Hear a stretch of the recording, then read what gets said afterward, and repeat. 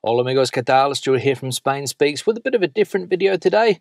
We're going to go for a drive and have a chat about these European recovery funds and why there's so much skepticism around at the moment about how this money is being spent. Today's video is sponsored by Skillshare and I'll tell you a little bit more about Skillshare during the video. So uh, let's go. Now as we know, there's a lot of European aid money here in Spain at the moment. In fact, the country is awash with cash and of course, that is leading to political tension because the opposition parties, or the main opposition party here in Spain, the Partido Popular, is a little bit skeptical about how this money is being spent. And to be honest, I can understand where this skepticism comes from, given Spain's track record over the last 20 or 30 years with some of the infrastructure projects in this country and the way European cohesion funds and uh, other public money has been spent in this country.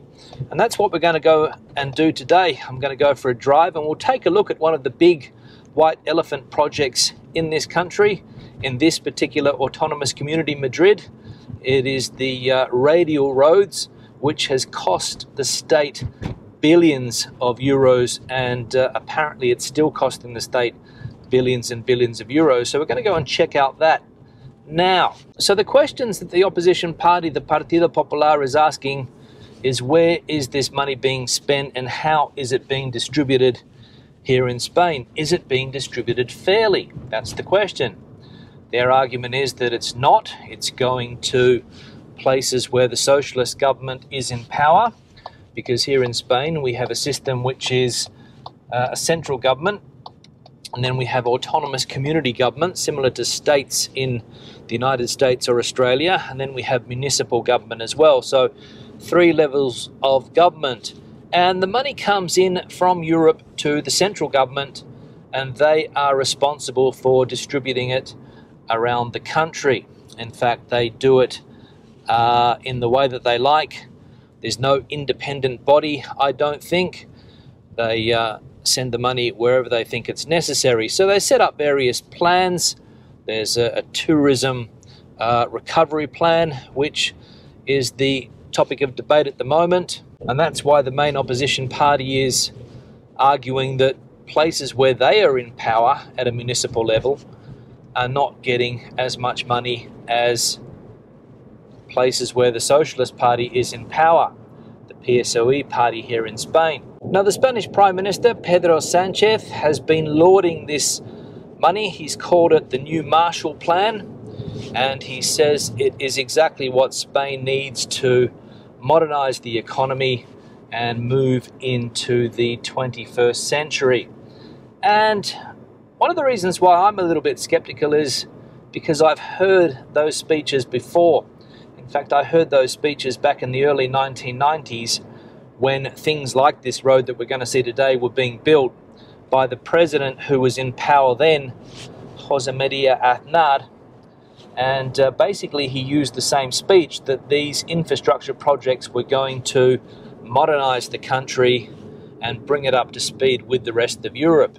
And uh, unfortunately, a lot of these projects have gone bankrupt, and taxpayers are still footing the bill. And that's where the skepticism, as I said, comes from as to whether or not these new European funds are going to fix the problem and indeed bring Spain up to speed. That's the question to modernize the economy, which is the Prime Minister's current speech. Now, there's a bit of a difference, I think, with these funds, and the idea is that the European Union is going to be controlling the money a lot more than they have done in the past because there are certain groups in the north of Europe that are a bit worried about how Spain spends money. They don't want a repeat of the past. So the European Union is apparently going to be a little bit more uh, controlling when it comes to this money. So that's a pro, I would say. But one of the big problems in this country is the way that the system works with the autonomous communities and the municipalities around the country that when that money comes through Madrid, the capital, and gets distributed around Spain, that's where it can get lost. And that's what has happened in the past. In fact, as you guys probably know, I've been living in Spain for 22 years now. And uh, I've traveled to a lot of different parts of the country. And honestly speaking, there's not an autonomous community in this country that you don't come across an unfinished bridge or a highway that seems to lead nowhere or a toll road that doesn't have any cars on it. And uh, that's one of the big problems. Or an airport which has subsequently been shut down, like the one in Castilla La Mancha in the province of Ciudad Real, which was one of the biggest white elephant projects ever built in this country. And the leader of the opposition, Pablo Casado, is accusing the government of just that clientelism and the fact that these funds could lead to corruption. And he said yesterday that in 2023, uh, probably saying that when he gets into power, then all of the bad spending of this money will come to light. So we'll have to wait until 2023 to see. But the opposing side of the argument here is that the European Union has come out on numerous occasions and said that they are controlling this cash and Spain is spending it well. So we have two sides to the story as usual. Now I'll interrupt the video here to give a shout out and thanks to the sponsor of today's video, Skillshare. Skillshare is an online learning community for creative people where millions come together to take the next step in their creative journey. Skillshare offers thousands of inspiring classes on a wide range of topics that include photography, illustration, languages, music, business, web development, design, and many more. Now, we all know that learning a new language can be a bit of a challenge as an adult, but it's fundamental to learn the local language so that you can integrate faster into the culture. And the Skillshare Masterclass, How to Learn a New Language as an Adult by Robert G., will help you master that foreign language. And there are plenty of other skills that you can learn on Skillshare, like video editing, for example. For me, the main advantage of Skillshare is that it has classes to suit any skill level. You can be a beginner, a pro, a dabbler, or a master. It doesn't matter. You will find a class to suit you on Skillshare. Another pro is that most Skillshare classes are under 60 minutes with short lessons to fit any schedule. And the first 1,000 people to use the link in the description will get a one month free trial of Skillshare. So click the link below and take advantage of the offer and check out Skillshare for yourself. Now back to the video.